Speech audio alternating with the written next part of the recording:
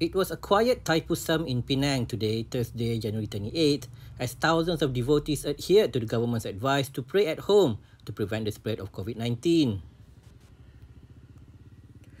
There was hardly anyone along Jalan Kebong Bunga in Georgetown, which would normally be bustling and vibrant during each celebration, as hundreds of thousands of devotees made their way up the waterfall hilltop Murugan Temple.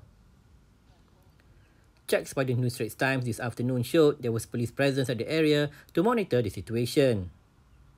Several devotees who were driving past the area got off from the vehicles to offer a silent prayer outside the temple.